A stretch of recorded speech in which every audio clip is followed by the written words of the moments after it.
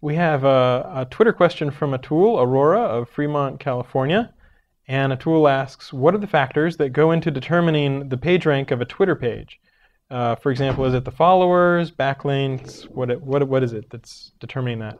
And uh, I gave an answer about Twitter where I said that we treat Twitter pages just like regular web pages.